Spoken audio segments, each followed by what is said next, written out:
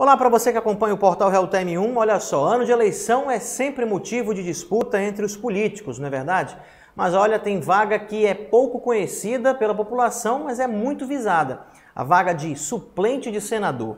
E nesse ano serão apenas duas vagas para a cadeira, hoje ocupada pelo senador Omar Aziz. Favorito a renovar o mandato, conforme as pesquisas de intenção de votos, as duas suplências de Omar são disputadas em várias frentes. Uma das opções pode ser indicada pelo prefeito Davi Almeida, e o nome mais provável é que seja do secretário municipal de limpeza pública, Sabá Reis. Outro forte candidato ao Senado, o ex-prefeito de Manaus, Arthur Virgílio Neto, tem oscilado entre ter como suplente a própria esposa, Elizabeth Valeico, ou o filho, o ex-deputado federal Arthur Bisneto. Agora, se você quer saber mais detalhes sobre quem os outros candidatos devem indicar, é só acessar o portal realtime1.com.br que lá a gente vai explicar tudinho para você sobre esse assunto e sobre outros assuntos também da política, da economia e do dia a dia. Deixe seu like e nos siga em nossas redes sociais.